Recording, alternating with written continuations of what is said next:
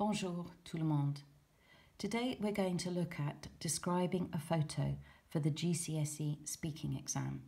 We've talked about this previously and about how to use the French present tense to describe the photo, reminding ourselves that in French there is only one present tense compared to English where we have two present tenses, such as he eats, he is eating, they play, they are playing.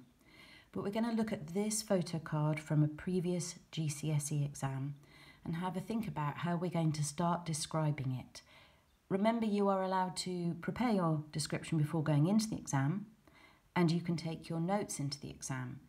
So getting the description right um, is an important task. We have come up with an acronym, PLACE, people, location, activity, clothes and emotion as a sort of jumping off point for your description of the photo card. In your booklet, you have also got this list of core vocabulary specifically linked to a photo card. And as you can see, I have highlighted some of the vocabulary I want to use when I'm describing this card. So we've got une femme, a woman, un homme, a man, il sourit, they are smiling, and down here we've got prepositions, which we had in the previous video. But I think today that I'm going to use à gauche on the left, à droite on the right, and au centre in the centre. I think these are going to be useful. But obviously, you will write your own description at some point, and it is up to you how you approach this. But place gives you an idea of where to begin, and I think starting with people is the obvious one. So I'm going to describe who is on this photo. So I can see that I've got um, two women and I've got a man, okay? So in answer to the question, parle-moi de la photo, tell me about the photo, I'm going to start by describing who is on the photo. So, sur la photo, il y a. Probably the best way to start the description of almost all these photo cards. On the photo there is, remember il y a, there is or there are. So I have got three people and I have got two women and I have got a man. So, sur la photo, il y a trois personnes, three people, one man, un homme,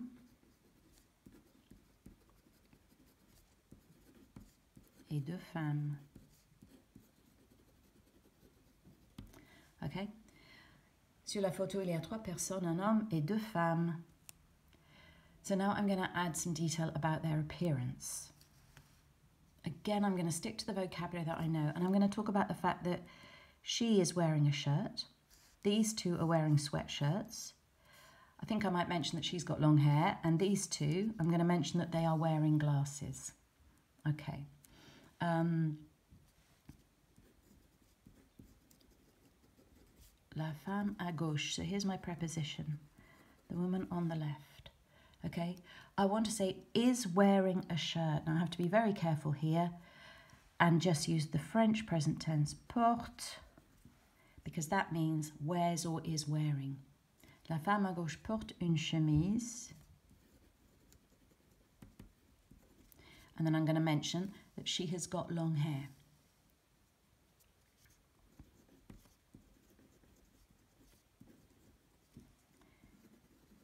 Et elle a les cheveux longs. Right, so then I said that I'm going to talk about the other two. Again, I'm going to need to use the prepositions to point out who I'm talking about. Um, I'm going to say that the woman in the centre is wearing glasses and so is the, the guy on the right. Okay.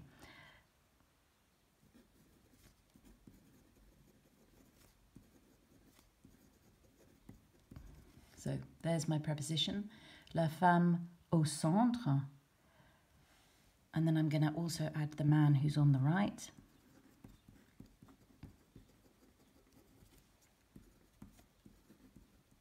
Oops. À droite. Now remember, I want to say they are wearing. So the temptation is to try and do something with that are. But I'm not going to do that here. I'm just going to use the French present tense. Porte des lunettes. Okay, The woman in the centre and the man on the right are wearing porte des lunettes. Um, oh, and they're also wearing sweatshirts, et des sweats.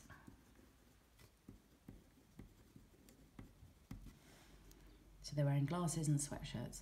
Now, that's a detailed start to the description of the photo, and I'm happy to leave that there. I think I've talked enough about um, who they are and what they're what they're wearing.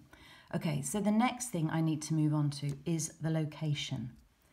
Now, you may not be sure where they are. I personally think they're in a cafe. And if that is possible, then that's fine. Okay, so I am going to go with the idea of a cafe, but I am actually going to put in an opinion starter to show that this is my opinion. Je pense qu'ils sont. I think that they are in a cafe, dans un café. And then I'm going to look back at the photo and again talk about the woman here. She's she's drinking. I'm going to say that that's a fruit juice. Again, I don't know, but it is possible.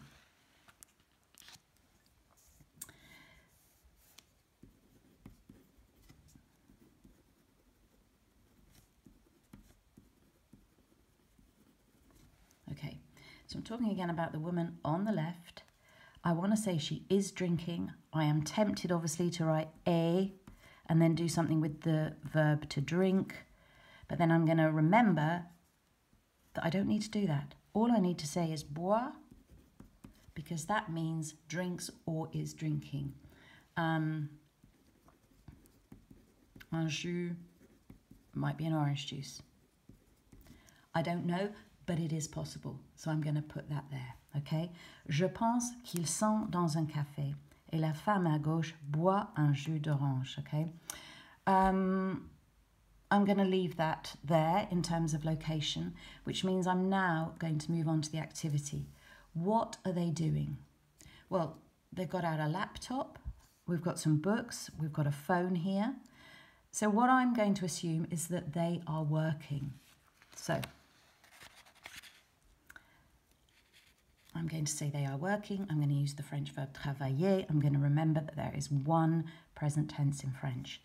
Il travail. They are working. Um, it's the woman in the centre who looks like she's working on the laptop, so I'm going to add that detail.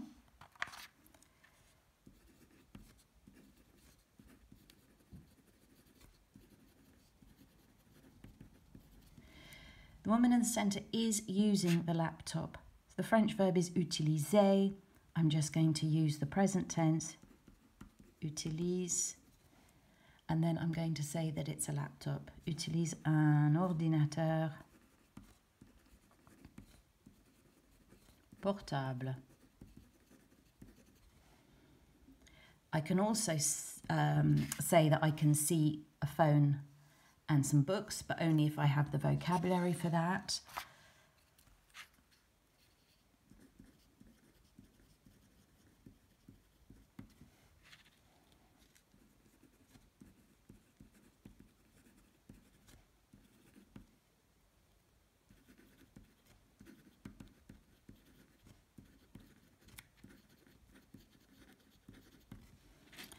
Okay, so I'm using il y a again, there is or there are. Il y a aussi un portable, a phone, et des livres, some books on the table.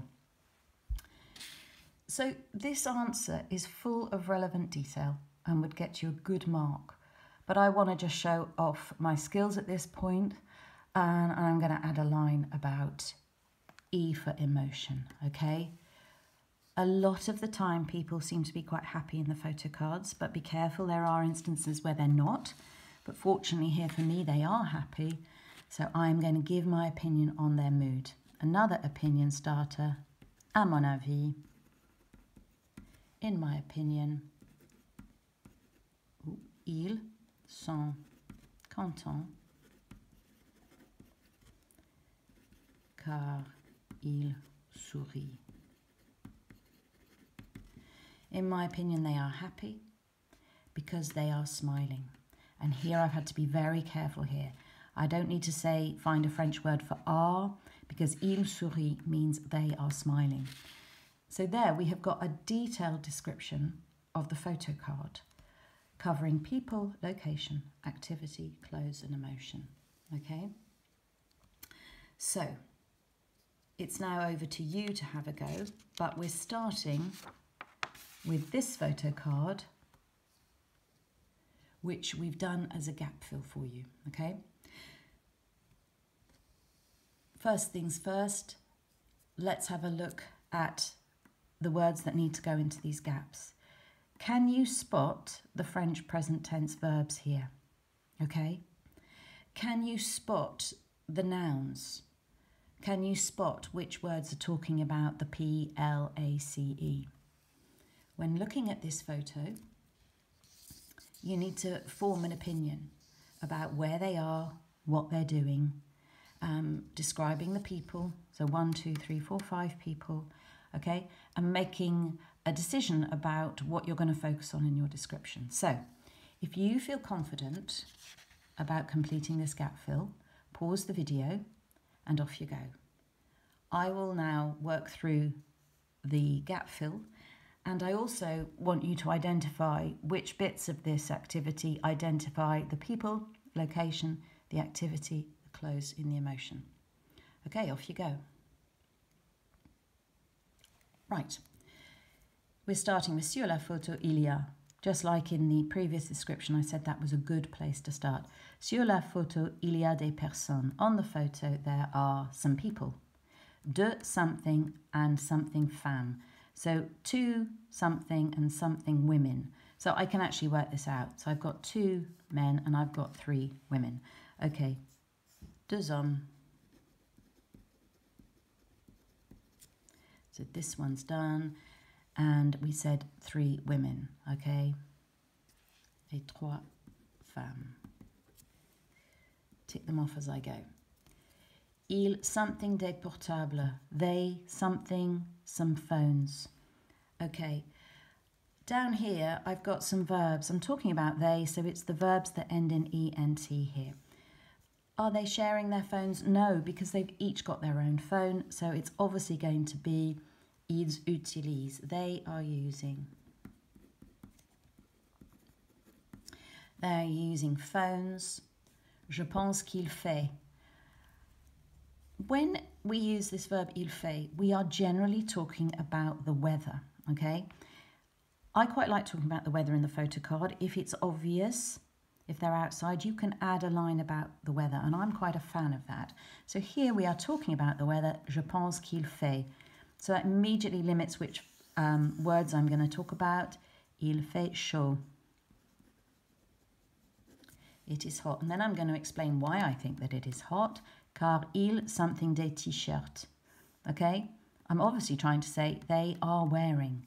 So I need to find the verb down here that means they are wearing, and it's that one, car il porte. Des t-shirts. Il y a aussi, there is also, un something. Et je pense que c'est un something. Right, we've got these a, a here. So we're going to be looking for nouns. Looking at the photo, we have got a bike here. And here's the word for bike. Il y a aussi un vélo. Et je pense que c'est un parc. I'm making a judgment call here that it is a park. I don't know that, but it is possible that it's a park. Okay, so now I haven't got many um, gaps to go. One, two, three. À mon avis, il something, des something. Okay, I need to follow it with a verb here a noun here, and then a verb here. À mon avis, il, and I've got partage, souris, photo. Sharing, smiling photos. Ils partagent, they are sharing photos. And they are what sort of photos? They are funny photos. And they're funny photos which make them smile. Okay, in my opinion, they are sharing photos, they are sharing funny photos, and they are smiling. Okay, so there we have filled our gaps. can you identify the place acronym here? Okay. Here are the people. We are talking about these people. The location. Well, I decided that it was a park. What was their activity? They are using their phones and they are sharing photos. Clothes. I just briefly mentioned that they're wearing t-shirts and I link it to the good weather. And the emotion is down here. They are smiling. So again, a detailed description covering P-L-A-C-E. Right. So your final task is to look at this photo card, which is from a previous GCSE again. It's a bit similar to the first one. We've got laptops, we've got a mixture of men and women, and they could be in a cafe, they could be in a library, okay? It's up to you. But now it's your turn to write a description of this photo using people, location, activity, clothes and emotion. Remember that in your booklet you have got this core vocabulary list. Make sure you use that and good luck.